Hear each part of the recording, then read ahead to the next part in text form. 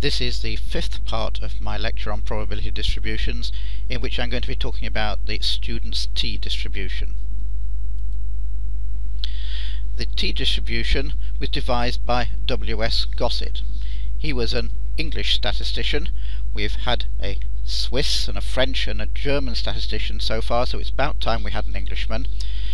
Gosset was born in Canterbury in 1876 and went to study mathematics and chemistry at Oxford University. He then worked for Guinness uh, in their brewery in Dublin, and there he applied statistical tests to select the best variety of barley for brewing Guinness. Only small numbers of tests were possible, so he developed new techniques for dealing with small samples. Now Guinness prohibited their employees from publishing for fear of losing their brewing secrets, so Gosset had to publish all his statistical ideas under the pseudonym of Student. Hence when we talk about students' t-distribution, it's nothing to do with university students, but actually relates to W.S. Gosset. Gosset was dealing with small samples, and he knew that the average value of many samples follows a normal distribution when the sample size is large. That's the central limit theorem that we've already talked about. But Gosset was interested in small samples because in his trials of different types of barley he wasn't able to produce very many different brews from each different type of barley. So for small samples he found that the distribution of results was slightly broader than the normal distribution and hence he developed the t-distribution. The difference between the t-distribution and the normal distribution arises because you don't know the actual standard deviation but have to calculate it from the sample. Now the t-distribution is very similar to the standardized normal distribution but it's slightly broader.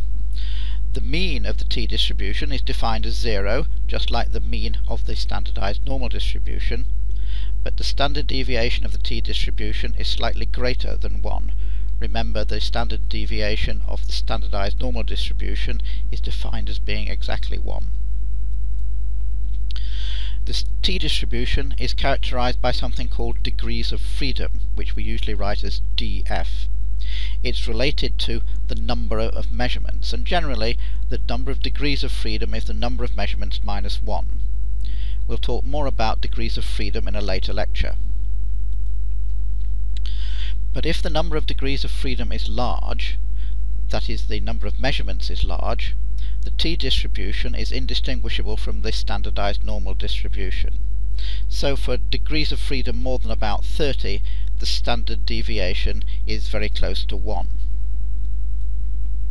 Here's a graph of the t-distribution shown in, as a solid green line for 1 degree of freedom compared with the dashed curve which is the standardized normal distribution and you can see that for small degrees of freedom like this the t-distribution is broader than the standardized normal distribution.